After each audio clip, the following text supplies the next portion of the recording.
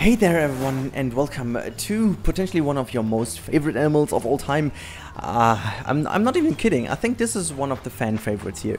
This is the Baird's tapir, or I think the pronunciation was not too bad here. Again, before we talk about this animal, uh, a huge thanks again to Deladysigner and Sean McBeard. I keep repeating myself, but it's very important.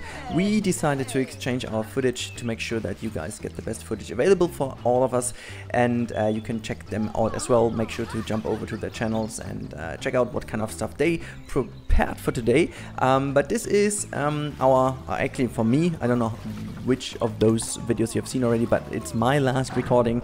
I have done all the reveals already and I've done the gameplay and there's even more cool stuff coming. I've got a lot more footage uh, that has been prepared for you guys and hopefully will be revealed by tomorrow and the next day and so on.